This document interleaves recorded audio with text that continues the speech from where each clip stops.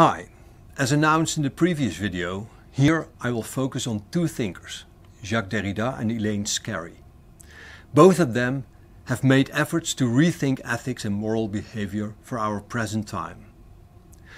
Before discussing the work of Scarry, I will first focus on Derrida and make a suggestion as to how his ideas about ethics can be connected to music, because Derrida himself hasn't dealt with music.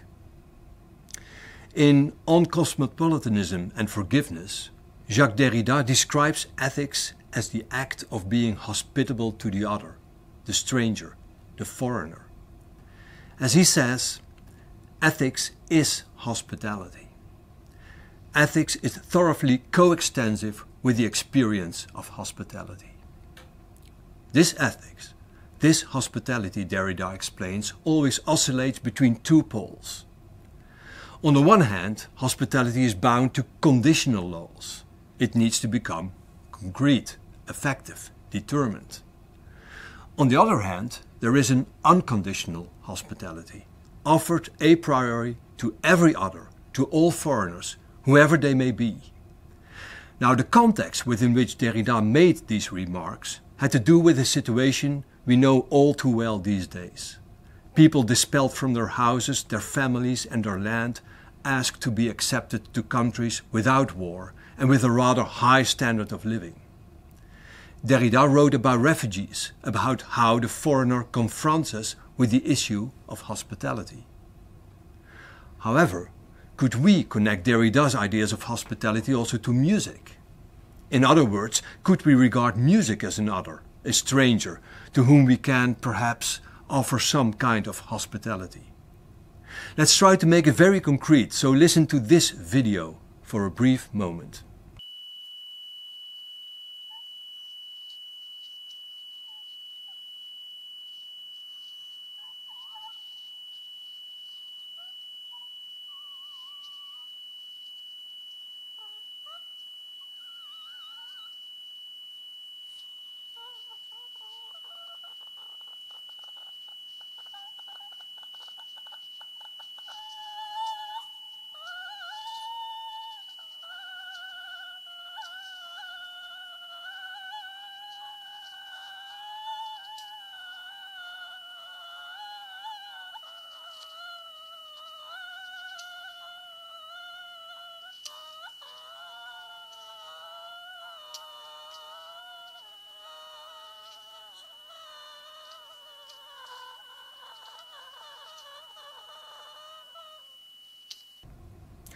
Of course, I could have chosen a billion other examples, but I assume for a moment that you are not really familiar with this kind of music.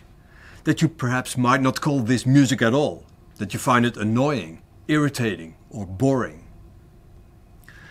However, taking Derrida's ideas about hospitality into account, would it be possible to regard this music as another, asking for a short while for some attention, some goodwill, some openness? Could we, for a brief moment, practice a kind of ethical listening, with an attitude that endeavors to encounter this music with respect, with responsiveness, even with an unconditional hospitality? And who knows, then music might be able to make us listen unconditionally to unfamiliar, strange, maybe even ugly sounds. We can even learn to listen unconditionally to what other people refugees or foreigners are telling us. As the German philosopher Hans Georg Gadamer writes, anyone who listens is fundamentally open. Without this kind of openness to one another, there is no genuine human relationship. Let's now move from Derrida's ideas about hospitality and ethics to Elaine Scarry's thoughts on how to reconnect beauty and being just. This is my second example to show how music can contribute in its own specific ways to ethical debates and concrete moral behavior. In her essay on beauty and being just, Scarry states that by encountering and dwelling on objects or events that we consider beautiful, a certain sensibility becomes possible that exceeds mere aesthetical gratification.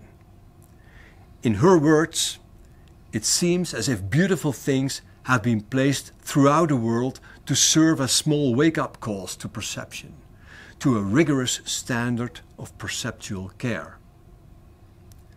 Beauty assists us, Scarry writes, to address injustice by increasing the possibility that things will be carefully handled and protected.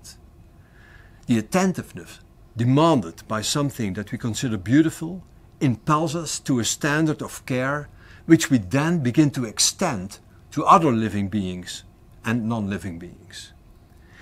In other words, it is exactly this aesthetic sensibility that Scarry sees as a prerequisite for ethical behavior. It is through an aesthetical encounter with a being or an object that we can learn to act ethically, that is, respectfully, open mindedly, and with an urge to protect and produce more beauty. Although Scarry writes about artworks, she hardly ever mentions music. So, how could we translate her thoughts to music, to sounds? Perhaps we could think of how most people love the sounds of nature rustling leaves, running water, singing birds.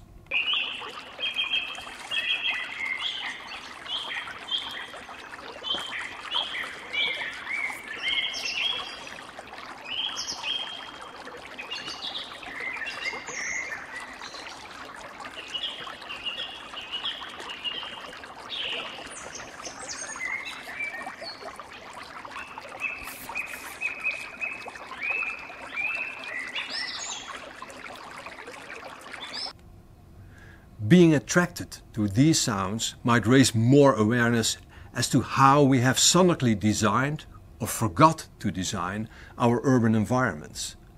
Of course, we can aspire to build more parks in our densely populated cities, an idea embraced by many people.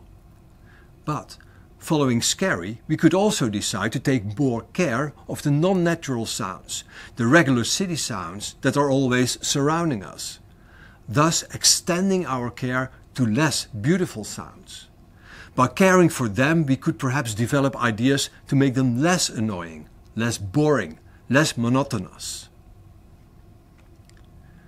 Ethical listening and taking care of our sonic environment are two examples of how aesthetics and ethics can be connected, of how music can contribute to concrete moral behavior, of how our encounters with music can also influence our norms and values. Both Derrida and Scarry talked about paying respect. In the next video you can see an interview I did with the famous Dutch Baroque musician Ton Koopman. In that interview, Koopman will address another kind of respect in relation to music. Curious? Just go to the next video. But before going to that video, we think it's useful to get introduced to a few concrete quotes from contemporary philosophers about ethics and morality. See you soon.